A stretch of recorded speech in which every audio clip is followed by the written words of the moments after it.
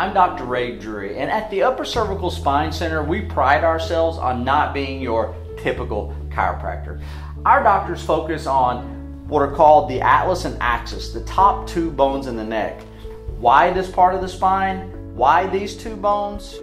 One, this is the only place in the entire body that a bone can actually misalign to the point that it interferes with the normal messages from your brain to your body. That includes your heart, your liver, your lungs, your kidneys. Every message between your brain and your body goes through these two bones. Now, if one of the bones does get out of line to the point it puts pressure, it can interfere with the messages to that part of the body. So if it doesn't get the full message, it doesn't work the way it's supposed to, thus a wide range of problems can happen. Number two, the head sits on top of these two bones.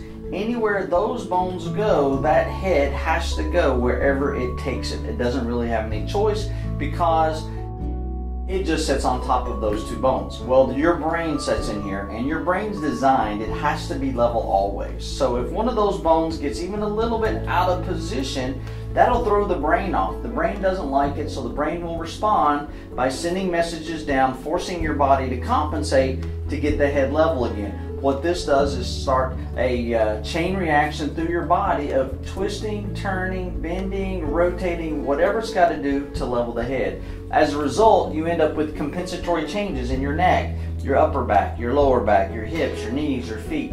Gravity pushing down. Over time, those compensations can turn into chronic neck pain, upper back pain, lower back pain. It can cause pain down the arms, pain down the legs. Another thing that makes our office different is our doctors don't want to just help you feel better, but they actually want to get to the root cause of your health problem. And to help us find the underlying cause, we use the latest in technology, including infrared thermography, direct digital x-ray and now we've recently added a 3D cone beam scanner. We're actually the first chiropractor in North Carolina with this technology and it allows us to see your spine in three dimensions which allows us to better serve you and better correct the actual cause. At the Upper Cervical Spine Center, we believe the thing that makes us stand out the most as not your typical chiropractor is the fact that we actually try to put ourselves out of business. What that means is, is we want you to actually hold your adjustment. We even have a sign in our office that says holding is healing.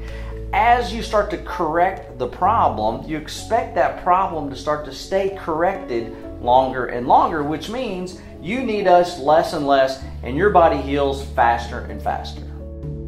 If you're in pain right now and you're tired of taking medications that just temporarily mask the symptom, call our office today. We never charge for the initial consultation to find out what your needs are. And if you have an upper cervical problem that we think we can help you with that could be causing your problems, we'll tell you and we'll tell you what we need to do to go further and try to correct it. If you don't, then we'll try to find another specialist that we believe can help you. So give our office a call, 704 588 5560. We look forward to seeing you soon.